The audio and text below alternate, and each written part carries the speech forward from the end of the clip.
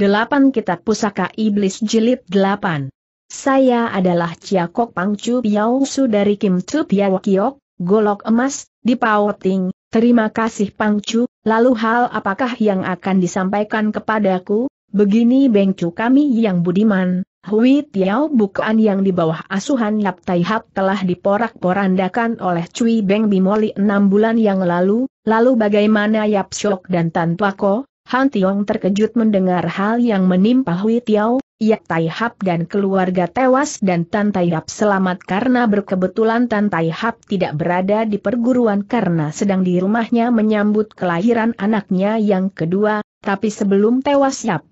Tai Hap sempat menyingkir dan menemui Bong Kung Chu Pao Teng, dan oleh Kung Chu di Pao Teng. Mengutus saya ke sini untuk menyampaikan surat ini kepada Beng Chu, Han Tiong menerima surat itu dan membaca atas nama seluruh kungcu wilayah selatan dan rasa terima kasih seluruh bukaan dan piau kiok yang tidak terperikan telah memperbaharui tempat Bengcu sebagai penjuru kekuatan di Pulau Kura-Kura sebagai kediaman wujud setitik keringat dari seluruh kebersamaan mengucapkan Banswe, Banswe, Kim Hong Taihap Bengcu yang budiman. Han Tiong ternyuh setelah membaca surat itu air matanya meleleh membaca surat terkahir dari Sin Hang yang sudah tewas, Kemudian Han Tiong melipat kembali surat Chia Pangcu yang baik, apa yang telah Cui lakukan di selatan membuatku bersyukur tidak mampu lukiskan, terima kasih saya ucapkan dari semua limpahan budi dan kemurahan hati si Cu sekalian, hal yang tidak seberapa bengcu kami yang budiman karena ditanggung oleh banyak orang yang disponsori oleh Yap Tayyap selama dua tahun,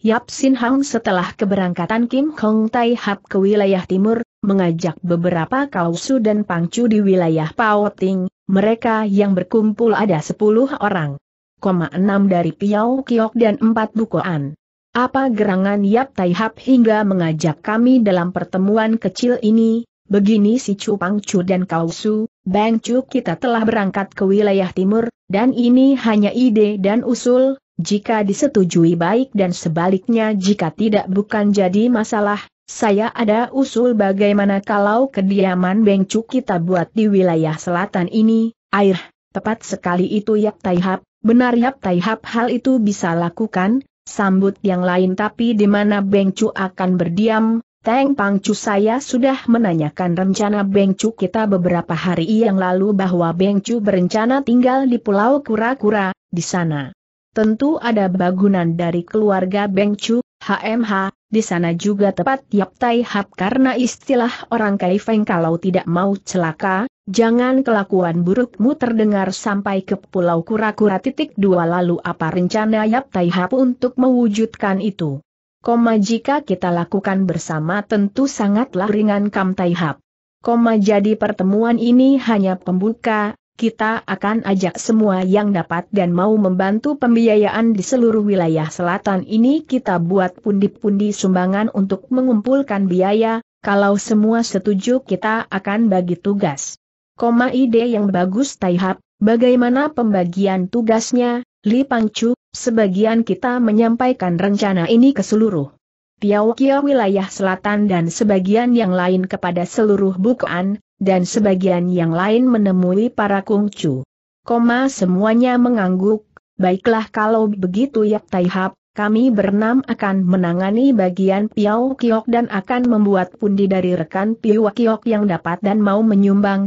dan tentu bagian bukaan Yap Taihap dan si Chu Kausu, bagaimana menurut Cui sekalian, demikian juga bagus Teng Pangcu, biarlah kami bertiga yang akan mengumpulkan dana dari para kausu sementara Yap Taihap menjumpai para kungcu, pemabagian itu sangat baik Kam Taihap, untuk itu mulai besok rencana kita jalankan. Keesokan harinya ke sepuluh orang itu mulai bergerak, dalam jangka enam bulan seluruh wilayah selatan sudah mengetahui rencana renovasi Pulau Kura-Kura, Bong Kung Chu yang dijumpai oleh Yap Tai Yap sangat setuju dengan rencana itu dan menyanggupi akan menyurati Kung Chu Kung Chu di kota-kota lain dengan surat berantai, kemudian Yap Tai Hap berangkat ke Kaifeng dan menjumpai Xie Kung Chu dan menyampaikan rencananya, luar biasa ide itu Yap Tai Hap, saya mendukung sekali, tapi marilah kita bicarakan dengan dua Kung Chu yang lain, besok mereka akan kundang, dan sebaiknya Yap Tai Hap. Ikut dalam pertemuan itu untuk rencana selanjutnya. Begitupun baik Taijin, Yap Taihap merasa gembira usulannya itu disambut baik para kungcu. Keesokan harinya Bong Kungcu dan Lim Kungcu pengganti Sim Kungcu yang sudah pensiun datang memenuhi undangan Xie Kungcu, begini para Bong dan Lim Taijin, Yap Taihap memiliki ide memperbaharui Pulau Kura-Kura untuk kediaman Beng Chu Kim Kong Taihap Beng Chu dan kita tahu belaka bahwa Kim Kong Taihap adalah pewaris Shik Wei Tochu Pulau Kura-Kura dan Yap Taihap telah menyampaikan hal ini kepada seluruh kungcu di wilayah selatan dengan bantuan surat berantai dari Bong Kungcu di Teng. Demikian juga para Piao Kiok dan Bukaan telah disampaikan untuk penggalangan dana di seluruh wilayah selatan, Bagaimana menurut Jiwi Taijin, hal yang bagus rencana itu Yak Taihap, saya sangat mendukungnya. Saya juga sependapat dengan Bong Taijin, selalu Im Taijin. Nah Yap Taihap bagaimana rencanamu selanjutnya, saya ingin membicarakan hal ini dengan para Taijin, tentu para Taijin lebih cermat dalam hal ini, HMH, begini menurut saya Bong. Taijin, Pertama kita menyuruh beberapa orang untuk menyurvei Pulau Kura-Kura, setelah kita tahu keadaan Pulau Kura-Kura baru kita angkut beberapa pekerja dan orang ahli tata letak wilayah untuk merencanakan bagaimana Pulau Kura-Kura diolah sebaik mungkin, tepat sekali Lim Taijain dan setelah itu kita akan menghitung anggaran dan dan menyesuaikan dengan dana yang diperoleh, kemudian baru pelaksanaan pembaharuan dijalankan, Bagaimana menurutmu Yak Taihap? Wah, luar biasa cermat ide itu Cui Taijin yang mulia, kalau begitu beberapa pasukan kami akan mengiringi Yap Taihap dan mungkin teman. Teman Taihap dalam melakukan survei, sanggupkah Yap Taihap? Tentu Taijin yang mulia,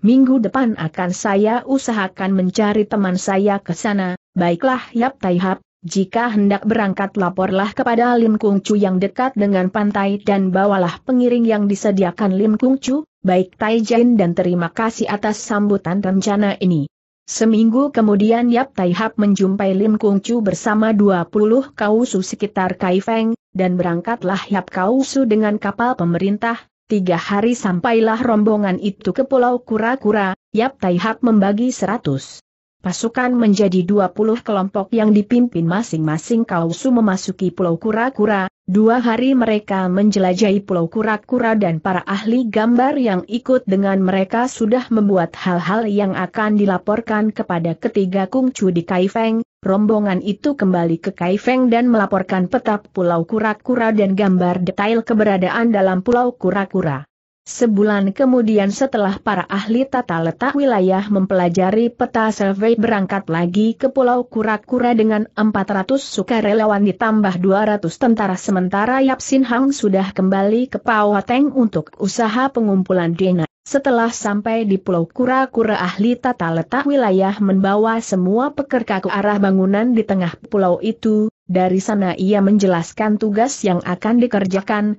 hutan yang harus ditebang, bagian gundukan yang diratakan dan bagian mana yang harus ditimbun, selama empat bulan pekerjaan itu pun selesai, kemudian mereka kembali lagi ke Kaifeng. Dua bulan berikutnya setelah anggaran masuk dari sumbangan yang terkumpul amatalah menakjubkan, dari hitungan. Anggaran Pulau Kura-Kura akan menjadi permata yang bersinar di lautan, Rombongan ketiga yang terdiri dari tukang-tukang bangunan dan pekerja berangkat dengan material yang diangkut tiga kapal, satu dari pemerintah dan dua dari Chia Wang Wei dan In Wang Wei dua hartawan terkaya di Kaifeng, pembangunan pun dilaksanakan, bangunan lama itu pun dirobohkan dan diganti dengan istana yang besar dengan tiang-tiang besar dari batu pualam yang indah, dinding dan lantainya dari batu kemala yang sudah digodok sedemikian rupa, halamannya yang luas didekorasi dan dihias tanaman aneka warna, jalan dan tangga pualam ke arah air terjun yang juga sudah didekorasi indah sehingga kubangan air di bawahnya nampak cantik asri. Selanjutnya di sebelah barat istana dibangun pesanggerahan yang besar yang oleh tata bangunan memperkirakan sebagai balai pertemuan. Kemudian di sebelah belakang pesanggerahan itu menghadap ke laut lepas dibuat bangunan besar bertingkat tiga dengan 150 kamar masing-masing tingkat 50 kamar sesuai kapasitas pesanggerahan yang mencapai 300 orang, kemudian di sebelah timur dibuat bangunan besar kokoh yang menurut tata bangunan akan menjadi bukaan pengcu terdiri lian butia yang sangat luas yang sebelah depan lian butia ada Enam tangga melengkung dan di atasnya seperti panggung luas sampai ke dinding dan dari pintu masuk sebelah kanan Lian Butia yang pintunya menghadap ke istana bangunan utama dan ada jembatan yang menghubungkan bangunan bukoan itu dengan istana yang di bawahnya dibuat kolam yang indah berjarak 4 meter menuju ujung lengkungan anak tangga, sementara bagian belakang Lian Butia pintu besar dengan selarasnya dengan lebar 3 meter dengan empat anak tangga dari tanah, di halaman bukoan itu di kedua sisinya tanami bunga-bunga indah, halamannya luas dan rata oleh rumput beludru yang hijau dan halus yang dipisahkan anak sungai kecil yang mengalir ke air terjun semua atap bangunan itu dicat warna hijau dan yang unik atap bukoan itu karena dasar dinding yang bulat bagian depannya maka atapnya juga dibuat bulat sehingga seperti tempurung kura-kura asli dengan cat hijau, Sementara tiang-tiang istana dicat berwarna biru laut dan dindingnya warna kuning keemasan dan yang terakhir dibangun adalah pagar tembok yang bagian depannya dibuat figura pintu gerbang berbentuk bulat seperti tempurung kura-kura dan sepanjang pagar tembok itu diukir dengan indah bangunan itu selesai dalam jangka satu tahun dan hal yang terkait datang dari Kai Feng adalah tiga kapal bermuatan perabot yang terdiri dari ranjang besar 150 set untuk bangunan bertingkat tiga beserta lemarinya, kemudian kursi 300 untuk pesanggerahan, dan 12 ranjang dan lemari untuk tiap kamar dalam istana kemudian kursi, sofa, koma karpet, tirai, meja, perkakas dapur dan lain-lain. Setahun sudah terwujud rencana itu prahara menimpa wilayah selatan yang didahului oleh wilayah barat dengan kehadiran Cui Beng Kui dan Cui Beng Bimoli, seluruh bukaan diperteli oleh kedua iblis itu dan para piawakiok dipecundangi, dan setelah dua tahun menancapkan pengaruhnya, suatu ketika Cui Beng Bimoli menyatroni perguruan Hui Tiao karena Laporan dua kekasihnya si yang dipecundangi oleh Yap Sin Hang ketika hendak menculik Putri Bong Kung Chu, dengan kemarahan sangat Cui Beng Bimoli dengan tangannya yang kejam menebar maut namun barisan Tin Pek Tiao yang kokoh dan kuat ciptaan Kim Hong Tai Hap membendung serangan maut Cui Beng Bimoli, menghadapi barisan yang kuat dan kokoh ini mengejutkan Cui Beng Bimoli tapi walaupun lama barisan Raja Wali itu harus juga oleh kesaktian Cui Beng Bimoli. Mundurlah semua, Yap Sin Hang melayang dan menyerang dengan kekuatan penuh dengan ilmu ciptaan Kim Hong Tai Hapek Tiao Kiam Hoat. Pertempuran itu berlangsung seru dan lama, makin jengkel Cui Beng Bimoli sehingga ia meningkatkan ilmu simpanannya Kwei Eng Jiao, cakar bayangan iblis, dan di dalam jurus ke-70 bahu Yap Sin Hang kena cengkram hingga remuk dan disusul si Kwei Chiang, tangan iblis dari barat, menghantam lambungnya kontan Yap Sin Hang terlempar ke tebing dan jatuh ke sungai bagian barat perguruannya dan memuntahkan darah. Cui Beng Bimoli tidak memperdulikannya langsung masuk ke dalam rumah Yap Sin Hang dan membantai istri dan anak-anak Yap Sin Hang, Sementara Yap Sin Hang berusaha menyingkir menuju rumah Bong Kung Chu.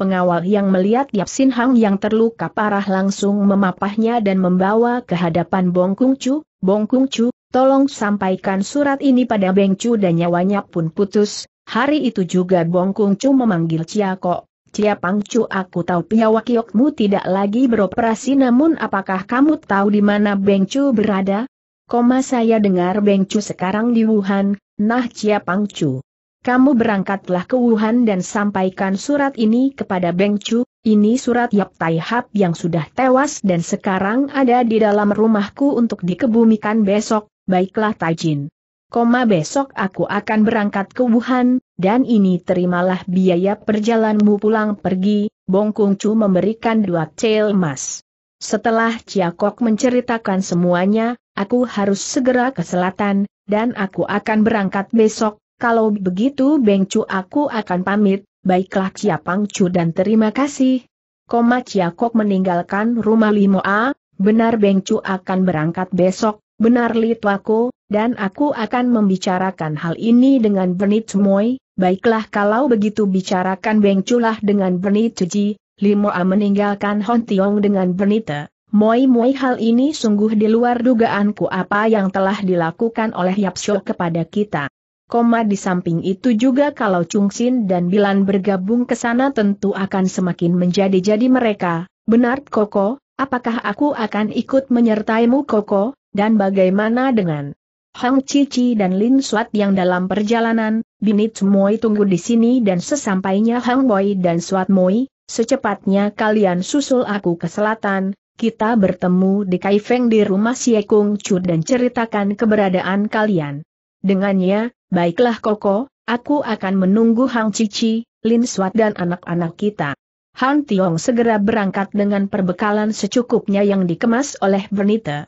Han Tiong dengan hati yang nelangsa akan apa yang diderita orang di selatan, membuat Han Tiong mengerahkan kekuatan larinya yang luar biasa yang dipondasikan dengan ilmu Lian Tin Leong dua hari dua malam berlari bagaikan kilat menembus jarak dari barat ke selatan dan dalam jangka dua minggu Han Tiong sudah sampai di selatan di kota Hopei. Setelah Han Tiong selesai makan di sebuah rumah makan beberapa orang menemuinya, Bang Chu yang budiman. Terima kasih kepada Tian Beng Chu sudah datang, si Chu yang baik koma di mana letak sarang Cui Beng Kui dan Cui Beng Bimoli. Cui Beng Bimoli ada di sebelah utara tempat bukaan Kim Emo Usin Lioing, sementara Cui Beng Kui di Huang San HMH. Bagus aku akan segera ke sana, dan tolong kepada si Cu yang baik adakan pertemuan di Kaifeng seluruh bukaan dan Piawakiok dan para Taihap empat bulan di depan, aku ingin bertemu Cui sekalian, baiklah Beng Cu akan kami laksanakan, Terima kasih si Cu aku berangkat, tubuh Hon Tiong menghilang dan beberapa saat sudah sampai di kediaman Cui Beng Bimoli, Kim Hong Tai Hap. Koma orang di rumah itu pada lari berserabutan, berhenti bentakan dengan tenaga dahsyat itu menjungkalkan semua orang, Han Tiong, mendekati tubuh seorang anak buah Cui Beng Bimoli, kamu jawab jujur ke mana Cui Beng Bimoli, ampun Tai Hap, Cui Beng Bimoli ada di Huang San, Han Tiong segera berlalu dan segera menuju Huang San. dalam seminggu Han Tiong sudah berada di Huang San. dalam seminggu itu keberadaan Beng Chu di selatan sudah tersebar apalagi undangan pertemuan sudah mengiringi keberadaan Beng Chu, api gairah kehidupan mulai bergolak di hati mereka. Cui Beng Kui, dan Cui Beng Bimoli keluar kalian, aku Kim Kong Taiyap sudah berada di sini, Sebentar saja enam bayangan sudah berada di hadapannya Chun Sin dan Bilan sudah berada di situ, ternyata kamu Sipo dan kau Lumina yang menjadi biangnya, hik-hik, Kim Kong Taiyap sudah mengantar nyawa, mari kita ganyang sampai mampus, Bilan sudah menyerang, empat pewaris iblis Durjana Kwe Ibansan mengerubuti Kim Kong Taihap ditambah dua beradik Sisuma budak Birahil Lumina. Bagaimana Bu Chin Bo Giam Lo dan Eng Giam Lo dapat bersama Cui Beng Kui, sesaat mari kita mundur ke belakang. Setelah Bu Chin Bo Giam Lo dan Eng Giam Lo melarikan diri, baru dua jam mereka melarikan sontak Bu Chin Bo Giam Lo, muntah darah dan ambruk, Eng Giam Lo terpaksa memanggul Bu Chin Bo Giam Lo dan berlari secepat mungkin, setelah sampai di sebuah hutan lebat dan gelap, Bilan meletakkan Chung Sin, semalaman Chung Sin tidak sadarkan diri dan baru keesokan harinya Chung Sin siuman, bagaimana Suheng kenapa kamu pingsan, kita harus mencari tempat yang aman dan tersembunyi Lan Moi, peredaran darahku sangat kacau, bekas pukulan dan hawa pukulan Kim Kong Tai Hap yang berlainan hawa membuat peredaran darahku kacau dan sepertinya tersumbat, artinya kamu luka dalam yang parah Suheng, Bilan terkejut karena pada waktu menyingkir Chung Sin masih kelihatan sehat dan berlari cepat, Chung Sin dan Bilan tidak sadar yang memicu luka parah itu karena pengerahan Sin Kang yang dipaksakan maka tak pelak lagi bekas pukulan Hawa Im yang yang diterima tubuhnya bereaksi cepat dan menghantam pembuluh darah sehingga peredaran darahnya kacau dan terasa di sana sini tersumbat, luar biasa pukulan Kim Kong Taiyap sialan itu, Bilan menggerutu, bagaimana Lan Moy apakah menurutmu hutan ini aman? Sepertinya aman Suheng, tapi saya akan bawa Suheng lebih dalam masuk ke hutan. Bilan bergerak dan memapah Chung Sin masuk lebih dalam ke hutan yang lebat dan lagi gelap. Empat jam kemudian Bilan menemukan sebuah gua, untuk sementara kita akan aman di sini Suheng, gua ini tersembunyi, benar Lan Moy, bawalah aku masuk ke dalam, Bilan memasuki gua dan merebahkan tubuh Chung Sin, bagaimana pengobatannya Suheng, hawa ini tidak beracun dan bukan luka, apakah dia membantu Sin Kang Suheng? Tidak bisa Lan Moi, salah satu dari hawa itu bila spontan bertambah akan mencelakanku, terlebih dasar Sin Kang yang ada padaku berhawaim sementara sementara kamu yang, matilah aku kalau hal itu dilakukan. Lalu bagaimana Suheng, Aku ingat Supek pernah mengobati pengaruh dua hawa yang berlainan pada tubuh, Supek merendam pada air yang berlainan hawa, tapi bagaimana hal itu dilakukan Suheng, kita harus dapatkan satu gentong besar untuk tempatku berendam air panas, untuk itu Lan Moi bisa lakukan dengan Sin Kang, tapi untuk yang dingin, jelas aku tidak mampu lakukan, jadi jalan satu-satunya kita harus berada di sumber air, HMH, baiklah Suheng nanti malam aku akan keluar hutan mencari gentong besar,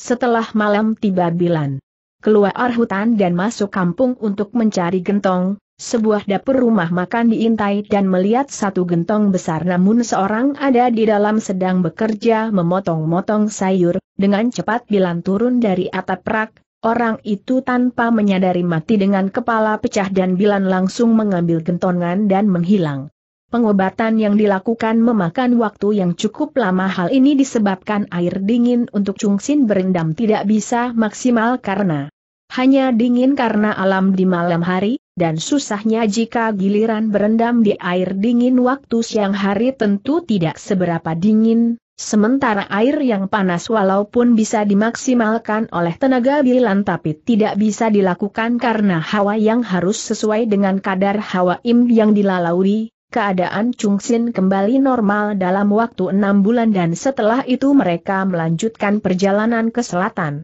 Suheng apa yang kita lakukan di selatan, kita akan menjumpai Cui Beng Kui, saya merasa bahwa Cui Beng Kui dan Cui Beng Bimoli adalah dua di antara kita berdelapan, kenapa Suheng mempunyai pemikiran seperti itu, karena kemunculan. Kita yang hampir bersamaan dengan mereka di selatan, hanya beda enam bulan, kalau begitu Im Kan Biciong dan Im Kan Okeniochu, bisa jadi juga dua di antara kita, benar Lan Moi, dengan mengambil jalan-jalan sepi karena takut jejak akan diketahui Kim Hong Tai Hap dan Kim Sim Bimoli, pelarian kedua iblis itu jadi lambat sehingga mereka sampai ke Huang San setelah enam bulan. Chung Sin dan Bilan segera menuju kediaman Cui Bengkui pada malam hari dan mengintai di dalam ruangan itu seorang lelaki tampan yang sedang menikmati pijatan beberapa wanita cantik, siapa di luar dan berani mengintai kediaman Cui Bengkui, serangkum hawa pukulan menghantam ke atas, brak,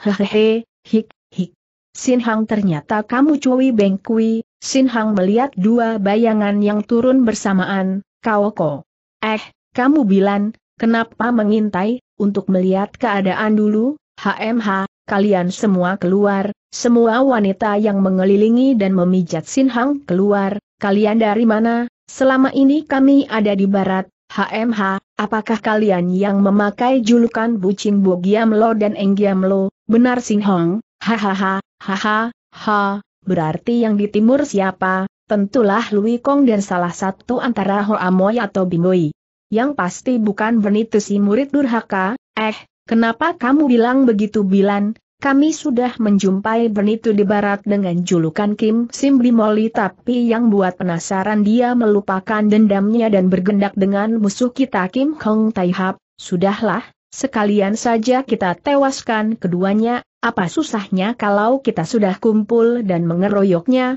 Lalu apa hal yang terjadi di barat sehingga kalian berkunjung ke Siani atau hanya untuk memastikan siapa Cui Beng Kui? Kami sudah bertemu dengan Kim Hong Taihap. Koma sebenarnya kalau kami keroyok Kim Hong Taihap akan dapat ditewaskan, tapi karena ada penitu di sampingnya yang juga memiliki kesaktian dari KW Ibansan terpaksa kami harus mundur, HMH, Baiklah besok aku akan menyuruh utusan ke HPI untuk memberitahu kedatangan kalian kepada Lumina Cui Beng Bimoli. Sebulan kemudian Lumina dan dua saudara Suma datang ke Hwangsan, pertemuan itu demikian akrab, pesta mesum pun berlangsung semalam suntuk, Namun saat keesokan harinya sewaktu mereka sedang makan siang, bentakan Kim Hong Tai Hap menyentakan mereka dan langsung keluar menemui Kim Hong Tai Hap yang sudah berdiri di halaman kediaman Sin Hong. Ting, ting, ting, jereng, jereng, Kenam penyerang itu tertahan tapi kedua saudara Suma langsung ambruk tewas tidak mampu menahan goncangan jantung mereka dari serangan Hang He Jai, sementara keempat pewaris Durjana dari KW Ibansan hanya sesaat tertahan, dan kemudian langsung bergerak dan menyerang, pertempuran seru dan dahsyat pun berlangsung, dentuman beradunya pukulan sakti menggelegar angin berkesyuran memporak-porandakan tempat sekitar pertempuran, blam, bum, empat pukulan sakti Tong Te Sin Kang, tenaga sakti menggetar bumi, dari Sin Hang dan ilmu Im Kang Beng Kang, tenaga iblis akhirat, dari Bilan menghantam Hon Tiong dari kiri sementara dari arah kanan dua tenaga sakti San Heng Sin. Kang, tenaga sakti menaklukkan gunung, dari Chung Sin dan Loh Hiat Sin Kang, tenaga sakti pengecau darah, dari Lumina, empat tenaga besar dan luar biasa kuat disambut kedua tangan Hon Tiong yang mengeluarkan hawa im dan yang dan akibatnya, kaki Hon Tiong amblas sampai lutut sementara empat lawannya. Terlempar lima tindak, jangan kasih ampun mari kita hantam. Koma serubilan, dan sekali lagi empat tenaga itu menghantam tenaga Hon Tiong Blam. Bum, hingga tubuhnya terbenam sampai pinggang, dan keempat lawannya juga terjengkang lima tindak, sekali lagi, seru Sin dengan nafasnya yang memburu, hiat, brush, blam, boom, Han Tiong dengan kecepatan kilat melayang ke udara hingga tanah terbongkar besar dan beradunya pukulan untuk yang ketiga membuat Han Tiong terlempar sepuluh tindak dan keempat lawannya terlempar tujuh tindak. Namun Chung Sin harus berhenti bernafas karena nyawanya putus saat melayang, jantungnya remuk dadanya membiru sementara mukanya hitam terbakar, Bilan memuntahkan darah, sementara Sin Hang dan Lumina pucat pias, tapi Han Tiong juga tidak kalah payah, darah meleleh dari sudut bibirnya. Koma Hon Tiong tidak mau sudah dengan trik mematahkan mental lawan, jurus Im yang mahoat sengaja dikeluarkan sebab dengan ringkikan akan menggetarkan lawan dan gerakannya juga lebih didonimasi kaki sehingga hawa Im yang tidak berkurang kekuatannya, ketiga lawannya yang sudah keder makin takjub menerima serangan yang masih terasa menekan. Itu, pertempuran adu jotos pun berlangsung dengan seru, ringkikan, tendangan dan sapuan membendung serangan si KWI Chiang, tangan iblis dari barat, dari Lumina, Tepain Choan, menerjang awan menolak bumi, dari Bilan dan Tong In Kun Hoat, ilmu pukulan menggetar awan, dari Sin Hong, gerakan Hon Tiong masih terkesan cepat di mata ketiga lawannya, dan hal ini makin membingungkan hati mereka sehingga serangan mereka kacau terlebih suara ringkikan menggetarkan jantung dan hawa yang berkesyuran dari tendangan kaki pada jurus ke-100 buk, hiek, buk, buk, hiek, buk, buk, cuan simkun,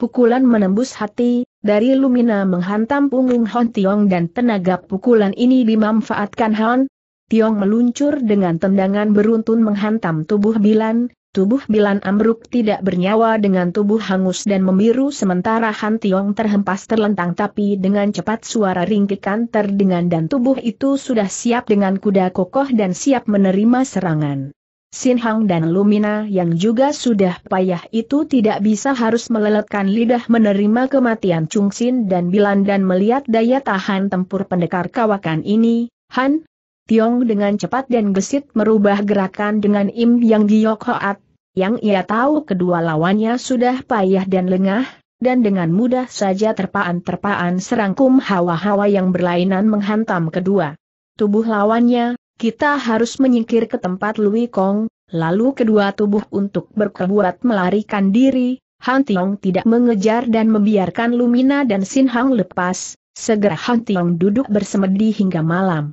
Namun sama halnya dengan kondisi Chung Sin keadaan Sin Hang dan Lumina terpaksa menghentikan perjalanan di sebuah hutan karena tiba-tiba Sin Hang dan Lumina pingsan ambruk ke tanah, semalam suntuk keduanya pingsan dan siaman. Ketika pagi datang, Sin Hang bagaimana keadaanmu, aku terluka dalam Lumina, peredaran darahku sangat kacau, ah, Aku mengalami hal ini untuk kedua kalinya, aku juga mengalami hal yang sama, peredaran darahku tidak normal membuat aku mual dan pusing, HMH, apa yang harus kita lakukan Lumina? Keduanya dia memikirkan keadaan mereka yang amat membahayakan ini, kita harus mencari sumber air, maksudmu apa? Kita akan melakukan hal yang sama ketika kita melarikan diri ke Tibet, hanya itu yang bisa kita lakukan Sin. Hang, marilah kita cari sumber air, keduanya bergerak tertatih-tih sambil berpegangan pada pepohonan hutan, dua jam kemudian mereka mendengar deburan ombak,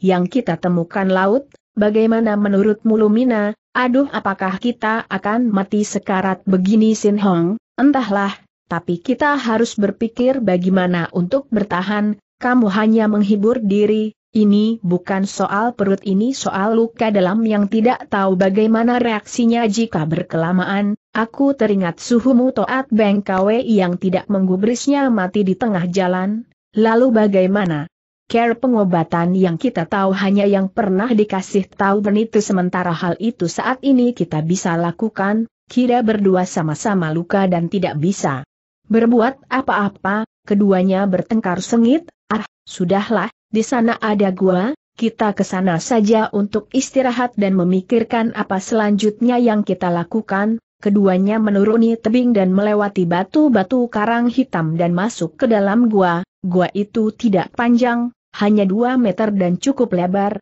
Mereka menggeloso bersandar di dinding gua. Koma mereka berdua salin menatap, Sejenak Pirahi Sin Hang bertiup melihat celana Lumina yang sobek dan mempertontonkan pahanya yang putih, namun mukanya pucat menahan rasa pusing dan mual dan dia pun memuntahkan isi perutnya, kamu. Kenapa Sin Hang? Koma Sin Hang memejamkan matanya berusaha menenangkan hatinya dan menghapus bayangan paha putih Lumina. Lumina, sangat berbahaya jika dalam kondisi seperti ini kita berduaan, apa maksudmu Sin Hang? Apa kamu akan meninggalkan aku? Koma aku melihat sobekan celanamu dan membuat aku bergairah dan itu membuat aku seperti tadi, ah, HMH, benar juga, aduh apa yang harus kita lakukan, di tengah kegalauan dan kepanikan peredaran darah Lumina bergerak dan tak ayal lagi kontan apa yang dirasakan Sin Hang tadi dialami Lumina dan ia pun muntah, Sin Hang memperhatikan keadaan mereka,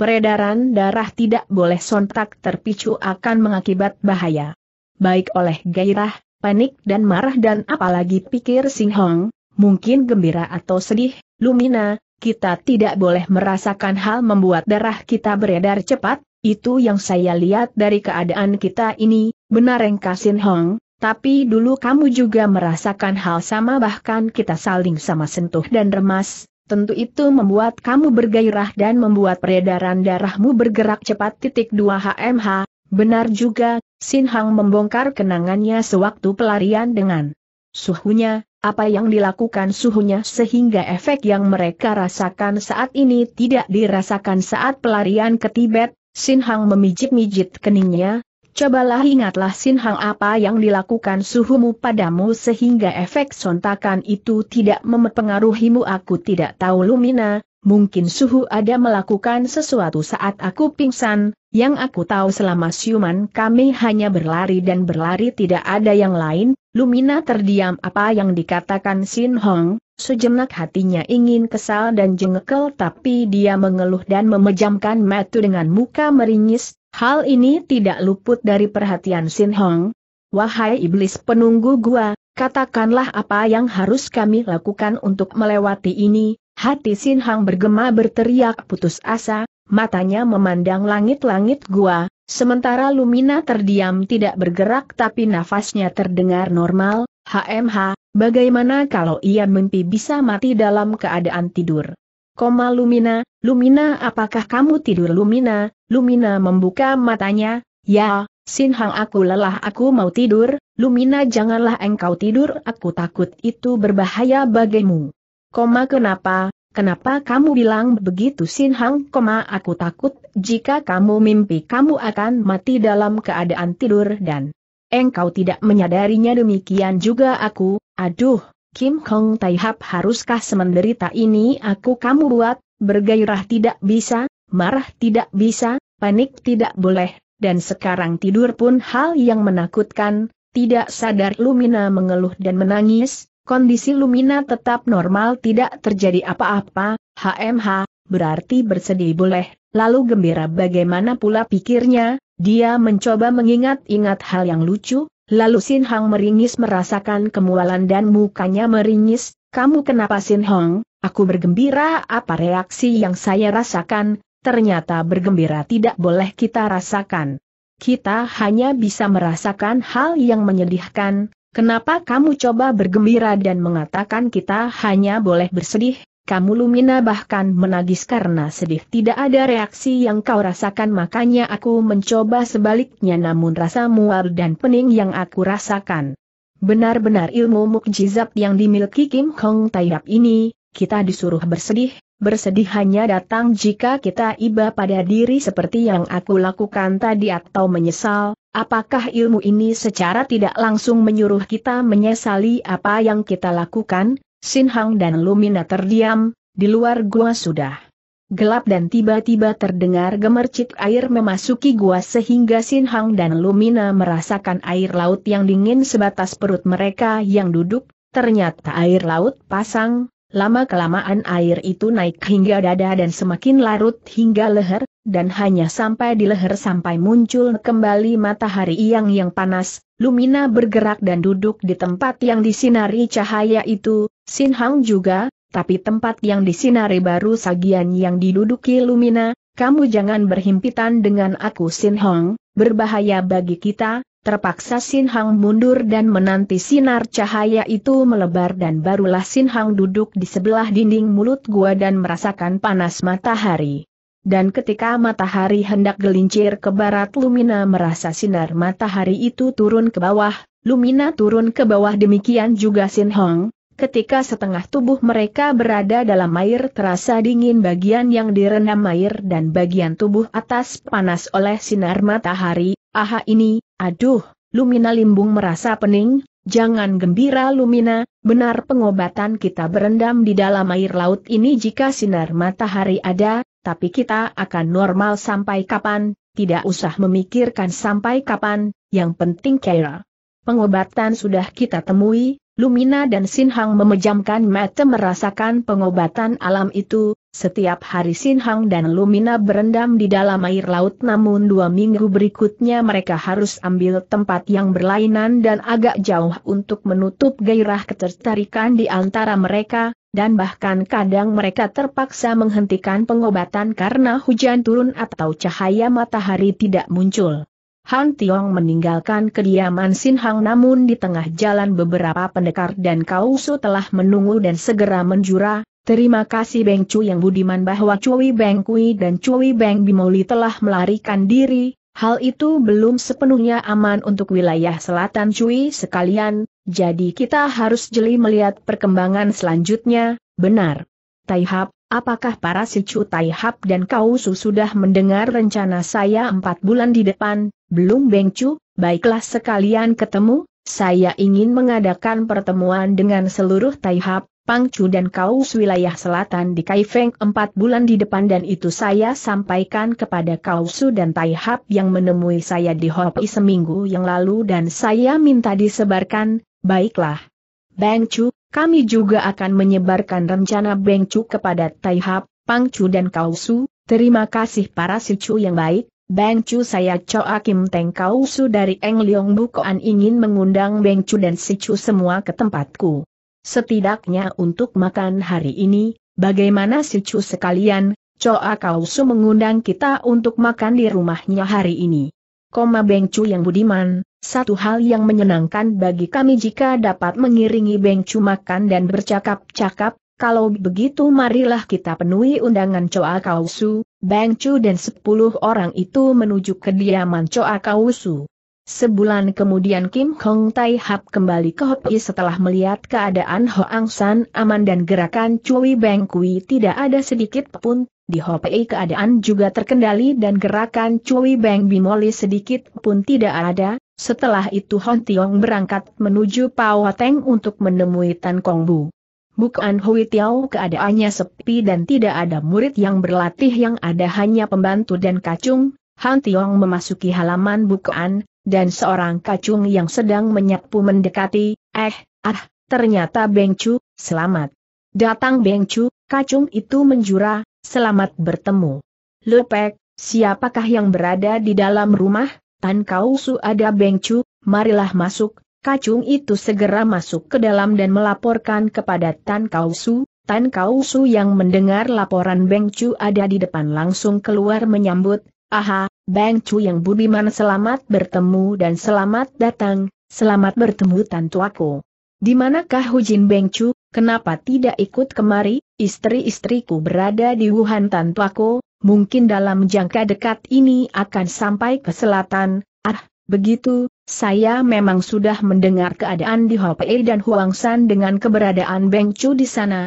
tapi sayang kedua iblis itu saya dengar melarikan diri, benar tuako makanya saya tetap di selatan untuk mewaspadai gerakan mereka. Mana tahu mereka masih di wilayah ini, jika setelah pertemuan di Kaifeng yang saya rencanakan sebulan lagi gerakan mereka tidak ada, maka saya akan segera ke timur untuk melihat keadaan HMH, Bang Chu siapakah mereka ini sebenarnya. Sungguh mengejutkan kemunculan mereka. Dua di barat, dua di sini dan dua di timur, mereka ini ada delapan orang yang turun dari KWI Bansan di wilayah barat, kedelapannya mewarisi pusaka delapan durjana ratusan tahun yang silam, enam di antaranya adalah perguruan dari Siang Kiam KWI, dan dua adalah murid dari Tok Sim KWI dan Toat Beng KWI, dan Cui Beng Kui itu adalah murid dari Toat Beng KWI sementara Cui Beng Bimoli adalah murid dari Tok Sim KWI, artinya masih ada dua lagi kalau begitu Beng Chu, benar tapi satu dari mereka sudah menjadi istri saya yang saya nikahi di Wuhan,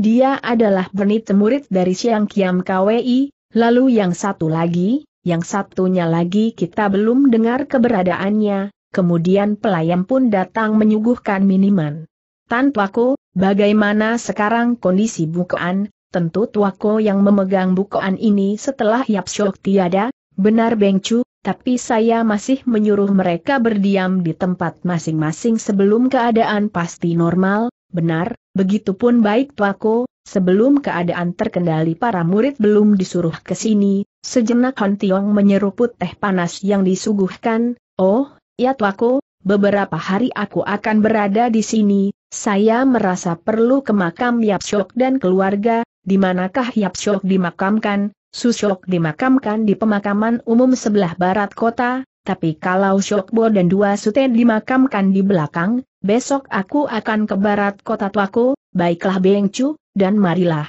Kita makan siang, mari, keduanya pun memasuki ruang keluarga dan makan siang. Pemakaman sebelah barat kota Pawateng sepi dan sunyi, hanya suara gemerisik angin ketika membelai dedaunana, di depan sebuah makam Hontiong duduk takzim, Yap Syok yang baik hati dan berlimpah sayang, aku tidak tahu bagaimana melukiskan kata-kata terima kasih atas apa yang Syok lakukan, ya, Tian yang agung, orang tua ini telah memikirkan dan mewujudkan hal tidak dapat kubayangkan, engkau Yatian yang paling tahu akan apa yang telah diperbuat orang tua ini kepadaku, kasih sayangnya demikian besar, perhatiannya demikian dalam, keuletannya demikian kokoh, kebijakannya demikian luas, ya. Tian yang memiliki hidup dan menguasai kematian, hambamu yang lemah ini meratap akan kemurahanmu, limpahkan dan berikanlah tempat yang layak bagi orang tua budiman ini, jadikan dirinya hal-hal yang baik pada kehidupan yang akan datang.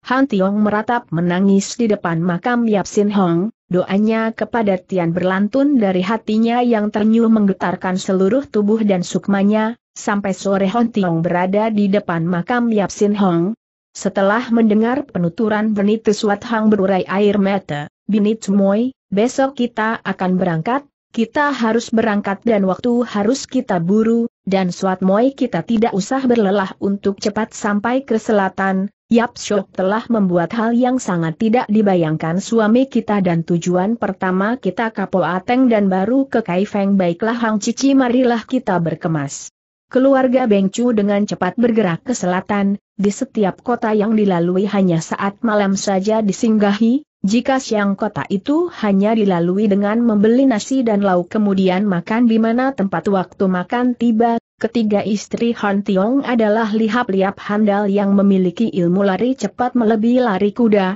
dalam jangka sebulan mereka sudah memasuki Hopai dan mendengar bahwa Beng Chu ada di Paoteng, segera mereka menuju ke Paoteng. Tan Kong Bu heran melihat rombongan akan tetapi setelah melihat Suat Hang segera menjura, Hujin Beng Chu, ah silahkan masuk, Tan Tuako di manakah Tiongko, Beng Chu baru dua jam lalu berangkat ke barat kota ke makam Yap Susiok, Tan Tuako nanti saja kami masuk dan kami segera ke sana, ah, aku harus temani Beng Chu marilah, segera Tan Kong Bu membawa keluarga Beng Chu ke makam Yap Sin Hong, mereka melihat Han Tiong duduk bersemedi sore hari itu, Tiong ke, suara Suat Hang yang serak menggugah Han Tiong, matanya yang sebab air mata menatap ketiga istrinya, Hang Mo Yap Siok, benar suamiku, uu, uu, pecahlah tangis Suat Hang serta Mertalin Suat dan Benitu ikut menangis di dekat. Han Tiong, Tan Kong Bu juga tidak kuasa menahan air mata melihat keadaan keluarga Beng Chu yang bertangisan di depan makam susioknya, mintalah kepada Tian istri-istriku, apa yang baik untuk Yap Siok, ketiganya takzim duduk di depan makam Yap Sin Hong, Yap Siok, uu, uu, kami, kami, keluarga Tiongkok mengucap syukur pada Tian dan terima kasih yang tidak terlukiskan besarnya akan apa yang Yap Syok lakukan terhadap keluarga Tiongkok. Kasih sayang ini membuat hati mengerungkan tangis, budi ini menyigarkan seluruh roma tubuh kami, hanya Tianlah Yap Syok yang paling tahu akan semua ini bagaimana membalasnya, kami tidak akan mampu Yap Syok, uu uu uu Doa kami akan terus melantun di setiap keheningan untuk Yap Shok. Semoga Yap Shok mendapatkan hal-hal yang baik dan menyenangkan di kehidupan yang akan datang. Uu, uu, Tian, limpahkan kebaikan untuk orang tua kami ini.